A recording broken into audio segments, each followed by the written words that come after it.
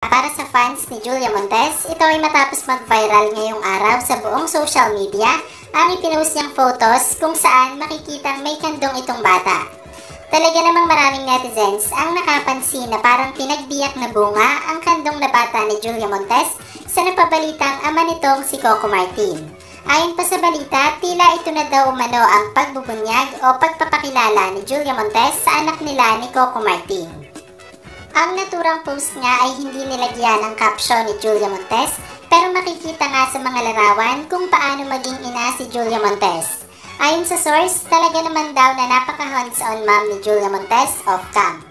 Ilang oras pa nga lang ang nakalilipas simula nang i-post ni Julia Montes ang naturang photos ay umabot na agad ito ng libu-libong likes at comments.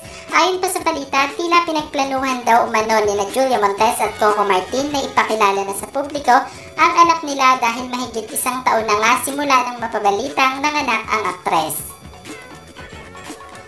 Sa ngayon nga ay nakadeactivate pa rin ang social media accounts ni Coco Martin dahil sa mga hindi magagandang pangyayaring naganap nitong mga nakaraang buwan. Kaya naman hinayaan na lang daw umano nitong si Julia Montes ang mag-post sa social media at tuluyang ipakilala nito ang anak nila sa publiko. Talaga namang nalinawan na Coco Jul fans na totoo ang bali-balitang may anak na sina Coco Martin at Julia Montes.